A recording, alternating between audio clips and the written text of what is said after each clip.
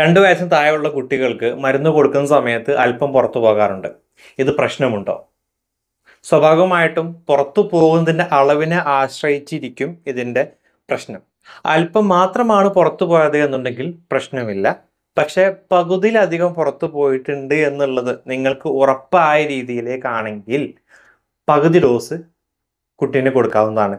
പ്രത്യേകം ശ്രദ്ധിക്കുക. സംശയാസ്പദമായിട്ട് കൊടുത്തു കഴിഞ്ഞാൽ ഓവർ ഡോസ് വരും. അത് ബുദ്ധിമുട്ടാകും ഇത്തരം സിറ്റുവേഷനുകളിൽ നാം എങ്ങനെയാണ് കുഞ്ഞിന് കുഞ്ഞിന് മരുന്ന് കൊടുക്കുന്നത് എന്നതിനെ ആശ്രയിച്ചിരിക്കും മരുന്ന് പുറത്തു പോകുന്നതിന്റെ അളവ്. ഒരു ആറ് പോയിന്റ് മാത്രം ഞാൻ പറയാം. ഒന്നാമതായിട്ട് ഓറൽ സിറിഞ്ച് എന്ന് പറയുന്ന ഒരു ഡിവൈസ് ഉണ്ട്. അത് ഉപയോഗിച്ചിട്ട് കുഞ്ഞിന് കൊടുക്കാൻ സാധാരണ പോലെ നമ്മൾ ഉപയോഗിക്കുന്ന സിറിഞ്ച് പോലത്തെ ഒരു സാധനം തന്നെയാണ്. ഈ സിറിഞ്ച് പോലത്തെ സാധനത്തിൽ മരുന്ന് കയറ്റിയിട്ട് ഇപ്പോൾ പോയിന്റ് ഫൈവ് എം എൽ ആണോ അല്ലെങ്കിൽ വൺ എം എൽ ആണോ ടു എം എൽ ആണോ നമ്മുടെ സിറിഞ്ചിൽ കയറ്റിയിട്ട് കുഞ്ഞിന്റെ വായയുടെ ചീക്കിന്റെ കവിളിന്റെ ഉൾഭാഗത്തോട്ട് വെച്ചതിന് ശേഷം നിങ്ങൾ എന്ത് ചെയ്യുക? പതുക്കെ പതുക്കെ അവിടെ അത് റിലീസ് ചെയ്ത് കൊടുക്കാം അങ്ങനെ ആവുന്ന സമയത്ത് തുപ്പി കളയാൻ വേണ്ടിയിട്ട് പൊതുവെ ഉപയോഗിക്കുന്ന നാവ് എന്ന് പറയുന്ന അവയവത്തിന് ഉപയോഗിക്കാൻ സാധിക്കില്ല നമ്മൾ ഉള്ളിലോട്ട് ഈ ഭാഗത്തായിട്ട് വെക്കുകയാണെങ്കിൽ അത് പെട്ടെന്ന് ഇറങ്ങിപ്പോകും. ഒന്നാമത് ശ്രദ്ധിക്കേണ്ട ഒരു കാര്യമാണ്. ഇനി ഓറൽ സിറിഞ്ച് ലഭിക്കുന്നില്ലെങ്കിൽ നമ്മുടെ ഫാർമസിയിൽ നിന്നും സാധാരണ രണ്ട് എം എല്ലിന്റെ സിറിഞ്ച് അല്ലെങ്കിൽ വൺ എം എല്ലിന്റെ സിറിഞ്ച് വാങ്ങിച്ചിട്ട് പ്രത്യേകം ശ്രദ്ധിക്കുക. അതിൽ സിറിഞ്ച് ഉണ്ടാകാൻ പാടില്ല. സിറിഞ്ച് മീൻസ് നീഡിൽ ഉണ്ടാകാൻ പാടില്ല. നീഡില്ലാത്ത സിറിഞ്ചുകൾ ഉപയോഗിച്ചിട്ട് അത് ഉപയോഗിക്കുക. ശേഷം ചുരുവെള്ളത്തിൽ ജസ്റ്റ് ഡ്രോപ്പ് ചെയ്ത് വെക്കാം. ഡിപ്പ് ചെയ്ത് വെക്കാം. എന്നിട്ട് നിങ്ങൾക്ക് ഉപയോഗിക്കാവുന്നതാണ്. So number one oral syringe ഉപയോഗിക്കുക. നമ്പർ ടു ലാർജ് ഡോസ് കുഞ്ഞിന് കൊടുക്കാൻ വേണ്ടി ഡോക്ടർ എഴുതിയിട്ടുണ്ട് എന്നുണ്ടെങ്കിൽ അതിനെ ചെറിയ ചെറിയ ഡോസാക്കി ചുരുക്കിയിട്ട് കൊടുക്കുക. അതായത് നിങ്ങൾക്ക് ഒരു അഞ്ച് എം എൽ കൊടുക്കാൻ പറഞ്ഞിട്ടുണ്ട്. മേ ബി കുഞ്ഞിന് കൊടുക്കാൻ ബുദ്ധിമുട്ടായിരിക്കാം. അപ്പം നിങ്ങൾ കാര്യം ചെയ്യുക. അത് ഒരു എം എൽ ആക്കിയിട്ട് അല്പം അല്പം. ഒരു എം എൽ ഇപ്പോൾ കൊടുക്കുക. രണ്ട് മിനിറ്റ് മൂന്ന് മിനിറ്റ് കഴിഞ്ഞ് അടുത്ത ഒരു എം എൽ കൊടുക്കുക. അങ്ങനെ പതുക്കെ പതുക്കെ ആയിട്ട് ഈ അഞ്ച് എം എൽ ഫുള്ളാക്കാൻ വേണ്ടി ശ്രദ്ധിക്കുക. അങ്ങനെ ആകുമ്പോൾ ഒരുപാട് ഡോസ് പുറത്ത് കളയാനുള്ള സാധ്യത കുറവായിരിക്കും.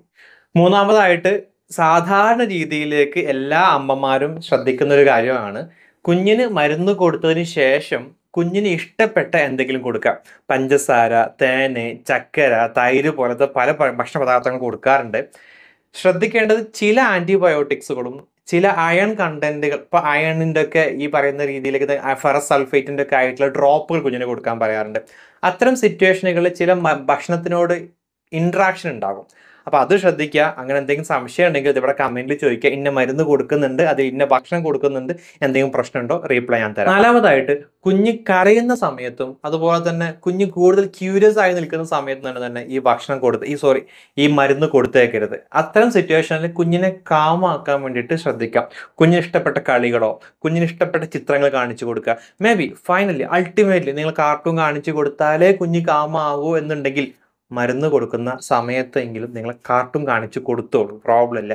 കാരണം മരുന്ന് പ്രോപ്പറായിട്ട് ആ സമയത്ത് തരും. അത് കഴിഞ്ഞ് നിങ്ങൾ കാർട്ടൂൺ ഓഫാക്കി കൊടുക്കും പക്ഷേ കുഞ്ഞ് ഇറക്കിയിട്ടുണ്ട് എന്നുള്ളത് ഉറപ്പ് വരുത്തുക. അതായത് കുഞ്ഞിന് ഇഷ്ടപ്പെട്ട സംഭവത്തിലേക്ക് കുഞ്ഞിനെ കൊണ്ടുവന്നിട്ട് കാമാക്കി നിർത്തുക മരുന്ന് കൊടുക്കുക. അഞ്ചാമതായിട്ട് കുഞ്ഞിന് ഇഷ്ടപ്പെട്ട എന്തെങ്കിലും ഭക്ഷണ പദാർത്ഥത്തിൽ ഇത് മിക്സ് ചെയ്ത് കൊടുക്കാം. പൊതുവെ കൊടുക്കാൻ ചാൻസ് ഉള്ള ഒരു ഭക്ഷണ പദാർത്ഥം എന്ന് പറയുന്നത് യോഗേർട്ടാണ് തൈരാണ്. കാരണം ആറ് വയസ്സ് കഴിഞ്ഞാൽ അല്ലെങ്കിൽ ഏഴ് വയസ്സ് സോറി ആറ് മാസം അല്ലെങ്കിൽ ഏഴ് മാസം കഴിയുമ്പോഴേക്കും കുഞ്ഞുങ്ങൾക്ക് യോഗട്ട് കൊടുക്കാവുന്നതാണ്. അതിനാൽ തന്നെ മരുന്നിൽ ഇത് അല്പം കലക്കി കൊടുക്കാം. പ്രത്യേകം ശ്രദ്ധിക്കേണ്ടത് അയൺ കണ്ടന്റ് അടങ്ങിയിട്ടുള്ള മരുന്നുകളാണെങ്കിൽ യോഗട്ട് കൊടുക്കരുത്. പിന്നെ ആന്റിബയോ ചില ആന്റിബയോട്ടിക്സുകൾ ഉണ്ട് അപ്പം നിങ്ങൾ കഴി കുഞ്ഞിന് കൊടുക്കേണ്ട മരുന്നുകൾ എന്താണ് എന്നുള്ളത് നിങ്ങൾ മനസ്സിലാക്കിയിട്ട് അതിൽ സംശയം ഉണ്ടെങ്കിൽ നിങ്ങൾക്ക് കമന്റിൽ ചോദിക്കാം. ഞാൻ ചെക്ക് ചെയ്തിട്ട് ഞാൻ പറയാം. സിക്സ് ആൻഡ് ഫൈനൽ വൺ അതായത് നിങ്ങൾക്ക് നിങ്ങളുടെ കുഞ്ഞ് എന്ത് മരുന്നാണ് ഏത് തരം മരുന്നുകൾ? കുപ്പി മരുന്നുണ്ട് ഗുളികകളുണ്ട് ഡ്രോപ്പ് ഉണ്ട് ഏത് തരം മരുന്നാണ് നിങ്ങളുടെ കുട്ടി കുടിക്കുക എന്നുള്ളത് നിങ്ങൾക്കറിയാലോ. ആ സമയത്ത് നിങ്ങൾ ഡോക്ടറെ കാണിക്കുന്ന സമയത്ത് തന്നെ പറയാം ഡോക്ടർ എന്റെ കുട്ടി കുപ്പി മരുന്ന് കുടിക്കില്ല എന്റെ കുട്ടി ഗുളിക കുടിക്കില്ല എന്റെ കുട്ടി ഗുളിക മിക്സ് ചെയ്തിട്ട് സ്പൂണിലാക്കിയിട്ട് കൊടുക്കാൻ പറ്റുന്നതാണ് കുഞ്ഞ് അത്ര സിറ്റുവേഷനിൽ കൊടുക്കാൻ സാധിക്കാറുണ്ട്.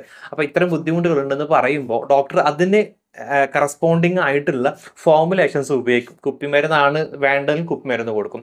ഇനി ഗുളികയാണ് വേണ്ടതെങ്കിൽ ഗുളിക കൊടുക്കും. ഇനി ഗുളിക മാത്രമേ അതിന് അവൈലബിൾ ആയിട്ടുള്ളൂ. പക്ഷെ കുപ്പിമരുന്ന് പോലെ ആകണമെന്നുണ്ടെങ്കിൽ ഇതിന് ഡിസെന്റഗ്രീൻ ടാബ്ലറ്റ്സ് ഉണ്ട്. നിങ്ങളുടെ കുപ്പി ഗുളിക എടുത്തിട്ട് അതിനെ പൊടി ഈ അതിനെ വെള്ളത്തിലിട്ട് കഴിഞ്ഞാൽ അത് കുപ്പിമരുന്ന് പോലെ ആയി മാറുകയും ചെയ്യും. അത് ടീസ്പൂൺ എടുത്തിട്ട് കുഞ്ഞിനെ കൊടുക്കാവുന്നതാണ്. ഇത്തരം ഒരുപാട് ഫോർമുലേഷൻസ് ഉണ്ട്. അത് നിങ്ങൾ ഫെമിനർ ആയിരിക്കില്ല കുഞ്ഞിന് എന്താണോ താല്പര്യം എന്നുള്ളത് നിങ്ങൾ മനസ്സിലാക്കുക. അത് ഡോക്ടറുമായിട്ട് ഷെയർ ചെയ്യുക. എന്നിട്ട് മാക്സിമം മരുന്ന് കുഞ്ഞിലേക്ക് എത്തിക്കാൻ വേണ്ടി ശ്രമിക്കുക. ഫൈനലി എനിക്ക് പറയാനുള്ളത് കുഞ്ഞ് മരുന്ന് എടുത്തിട്ടുണ്ട്. അല്പനേരം വായിൽ വെച്ചിട്ടുണ്ട് പിന്നെ വൊമിറ്റ് ചെയ്തു. ആ, അതിൽ ഗുളികയൊന്നും കാണുന്നില്ല. പക്ഷേ ഗുളിക പോകുന്നതായി സംശയാസ്പദമായിട്ട് നിങ്ങൾ വീണ്ടും ആ മരുന്ന് കൊടുക്കുക. ഒരിക്കലും കൊടുക്കരുത്. കുഞ്ഞിന് മരുന്ന് എത്തിയിട്ടില്ലെങ്കിലും. അമിതമായുള്ള dose overdose toxic dose അത് വലിയൊരു വിപത്തിനെ ക്ഷണിച്ചു വരുത്തും. അതുകൊണ്ട് അത്തരം സിറ്റുവേഷനിലേക്ക് നിങ്ങൾ നിൽക്കരുത്. മരുന്ന് കുഞ്ഞിന് കൊടുക്കുക. കുഞ്ഞിന്റെ മരുന്ന് പുറത്തു വന്നിട്ടുണ്ടെന്ന് ഉറപ്പ് വന്നിട്ടുണ്ടെങ്കിൽ മാത്രം നിങ്ങൾ എന്ത് ചെയ്യുക? ആ മരുന്ന് കൊടുക്കുക. ശ്രദ്ധിക്കേണ്ടത് അല്പം പുറത്തു പോയിട്ടുണ്ടെങ്കിൽ നിങ്ങൾ ഒഴിവാ. നിങ്ങൾ പിന്നെ മരുന്ന് കൊടുക്കേണ്ട ആവശ്യമില്ല. പക്ഷേ പകുതിയിലധികം പുറത്തു പോയിട്ടുണ്ടെന്നുണ്ടെങ്കിൽ പകുതി കൊടുക്കാം. പറയാൻ ഉദ്ദേശിക്കുന്ന മാത്രമേ ഉള്ളൂ. ടോക്സിക് ലെവലിൽ ഒരിക്കലും തന്നെ കുഞ്ഞുങ്ങൾക്ക് മരുന്ന് എത്താൻ എത്താതിരിക്കാൻ വേണ്ടിയിട്ട് ശ്രദ്ധിക്കാം താങ്ക്